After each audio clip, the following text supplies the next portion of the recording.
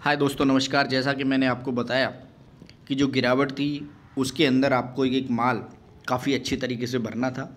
उसके साथ साथ मैं आपको बताऊँगा कि कैसे मार्केट के अंदर जो अब एक दोबारा से ग्रीन रिकवरी आती हुई दिखाई दे रही है और आगे आने वाले दिवाली आपको कैसे एक अच्छा रिटर्न दे सकती है। क्योंकि अब जो करेक्शन होनी थी, वो हो गई है। अब मार्केट एकदम से ग्रीन सिंगलर दिखाता हुआ दिवाली, एक जो मज़बूत दिवाली, एक अच्छे रिटर्न की दिवाली देगा आपको। तो यहाँ पर कुछ ऐसे स्टॉक्स हैं, जिसमें जो रिसर्च फर्म ने काफ़ी अच्छा विश्वास दिखाया है और आपको आने वाले टाइम में इनमें काफ़ी अच्छे रिटर्न जनरेट होते हुए दिखाई देंगे। तो उन्हीं कुछ स्टॉक के बारे में आज बात करूँगा, जिसके अंदर आप देखेंगे कि कॉलगेट के अंदर जो टारगेट प्रभुदास लीलाधर जी ने दिए हैं, वो लगभग अट्ठारह सौ बावन रुपये के इसने, इन्होंने टारगेट दिए हैं।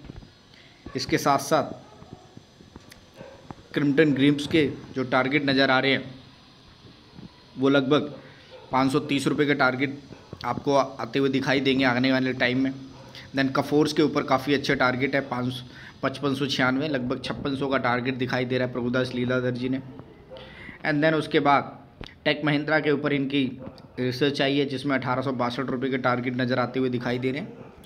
एंड देन उसके बाद मोतीलाल ओसवाल जी ने रेमको सीमेंट के अंदर टारगेट दिए हैं और आज आप देखेंगे रेमको सीमेंट लगभग सात परसेंट की उछाल नज़र आती हुई दिखाई दे रही है। यानी कि आज ही के दिन में इन्होंने काफ़ी अच्छे, लगभग सात परसेंट के इन्होंने काफ़ी अच्छे रिटर्न जनरेट करते हुए दिखाई दे रहे हैं आज ही के दिन में।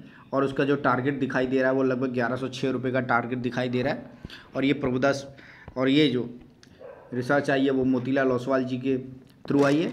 और रामदेव अग्रवाल जी का नाम कौन नहीं जाता है, जिन्होंने अभी अभी मुंबई के अंदर लगभग छियालीस करोड़ रुपए का विला, छियालीस करोड़ रुपए इसका विला खरीदा है और वो सब पैसे इन्होंने इसी मार्केट के अंदर से कमाए हैं।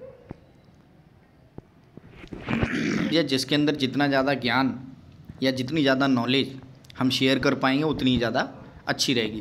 क्योंकि मैं अकेला अमीर बन के कुछ होगा नहीं। आप सबको साथ लेकर फिर अमीर बना जाए, उसके बाद ही सब कुछ हो सकता है। तो डेफिनेटली ये सब हमारा फोकस होना चाहिए कि हम सब अपनी अपनी नॉलेज मेरे प्लेटफॉर्म पे शेयर करें और जितनी नॉलेज हो सकती है मैं अपने वीडियो के थ्रू आप तक पहुँचाने की कोशिश करता हूँ और उसके साथ साथ मैं भी थोड़ा बिज़ी रहता हूँ ट्रेडिंग में।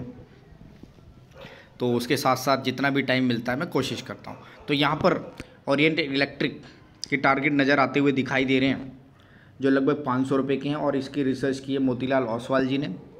एंड देन इसके बाद मैं बताऊँगा कि जो टारगेट नज़र आ रहे हैं वो टेक महिंद्रा के हैं और जो टेक महिंद्रा के ऑलरेडी अभी जो आए थे, यानी कि कई बार क्या होता है ना, काफ़ी सारी जो रिसर्च फॉर्म होते हैं, एक ही स्टॉक के बारे में अपनी अपनी रिसर्च लेके आती है। और अगर तीन तीन रिसर्च फॉर्म एक ही चीज़ को रिसर्च कर रही हैं और टारगेट बहुत अच्छा बता रही है तो डेफिनेटली आप समझ सकते हैं कि टेक महिंद्रा के जो टारगेट हैं, इससे पहले प्रभुदास लीलाधर जी ने भी लगभग इतने ही बताए थे।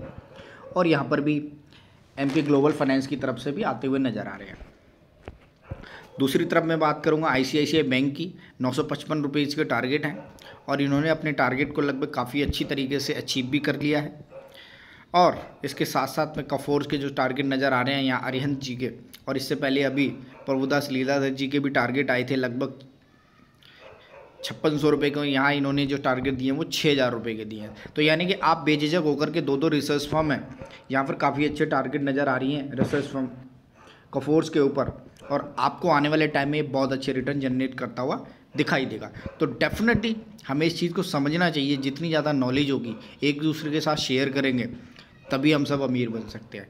और डेफिनेटली हम सब के पास एक बहुत बहुत बड़ा कमाई के बाद एक बंगला होगा, ताकि हम सब ये बता सकें हाँ जी, हमने भी ये ट्रेडिंग करके कमाया है। तो मेरी यही उम्मीद रहेगी कि अपनी जितनी नॉलेज है मैं आपके साथ शेयर करूँ। और कहीं पर भी कुछ ऐसा लगता है, क्योंकि नॉलेज हमसे छूट जाती है यार, आपको पास है तो डेफिनेटली आप मेरे कमेंट सेक्शन में कमेंट करें।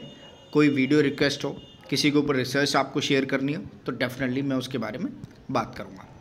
और कोई भी डिसीज़न लेने से पहले एक बार अपने फाइनेंशियल एडवाइज़र से ज़रूर इस एडवाइस ले लें।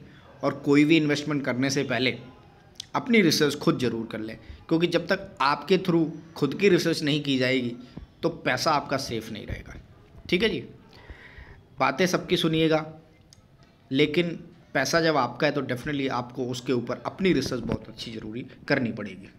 तो ये मेरी वीडियो है, कुछ ऐसे टारगेट्स आए हुए हैं, जो दिवाली तक आपको एक अच्छा रिटर्न देख सकें। और आपने देखा कि आज जो गिरावट ख़त्म हुई है और आज एक बहुत अच्छे रिकवरी के साथ सेंसेक्स बंद हुआ है। और जिसके अंदर आपने देखा होगा, काफ़ी सारे स्टॉक्स के अंदर मोर देन फाइव परसेंट के ऊपर के अपर सर्किट और मोर देन फाइव परसेंट के रिटर्न जनरेट करके देते हुए नज़र आ रहे हैं। और आगे आने वाले टाइम में यही आपको मल्टीप्लाई होते हुए नज़र आएँगे। तो आप सबकी दिवाली शुभ हो और धनतेरस के टाइम पे बहुत खूब धन वर्षा हो। तो इसी आशा के साथ मैं अब दूसरी वीडियो बनाऊँगा इसके बाद।